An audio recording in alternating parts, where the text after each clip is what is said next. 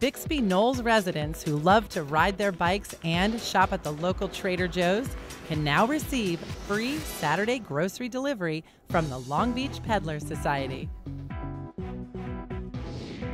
This free service is made possible by the Bike Friendly Business District program in partnership with the Bixby Knolls Business Improvement Association. The city's role in uh, the grocery delivery from Bixby Knolls Trader Joe's is that two years ago we wrote a grant through LA County Public Health. The whole idea was to encourage people to get out, ride their bikes, and really to shop local. So we want to make it really easy for somebody to come in, ride their bike, and they go, well, How am I going to get my groceries home?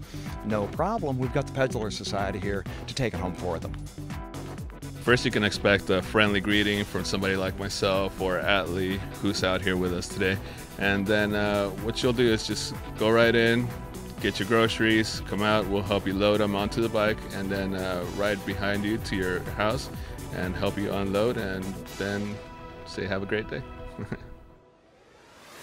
The Pedaler Society's free grocery delivery service helps to promote healthy, active lifestyles, sustainable alternatives to driving, and encourages our residents to shop locally.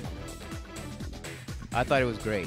I think I can really use this because uh, I normally take my truck to Trader Joe's, you know, uh, and normally I bring a lot of groceries back.